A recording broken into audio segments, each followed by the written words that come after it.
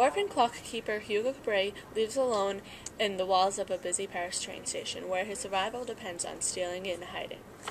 Hugo's previous guardian, Uncle Claude, was a drunk and the only family Hugo had left, after his pa- father perished in an awful fire at the museum he was working in. Hugo's uncle disappeared, and then he was left alone to take care of himself.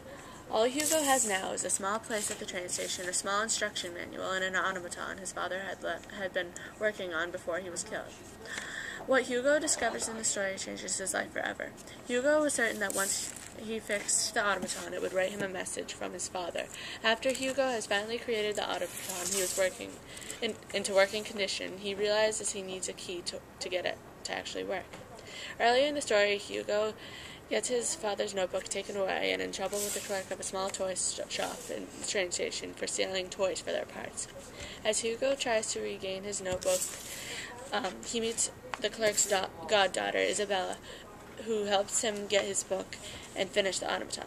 Little did they both know that Isabella held the key to the automaton around a necklace on her neck. She had stolen it from her godmother because she had liked the way it looked. When the team gets the the automaton, it doesn't write a message, but it draws a picture.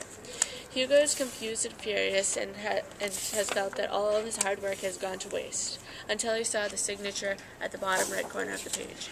It reads George Méliès, who was Isabelle's godfather and had, had been had he had been the one who originally built the automat- the magnificent machine, but he gave it up after he gained custody of Isabelle. Isabelle accused Hugo of then stealing the machine and ran home to get her godparents.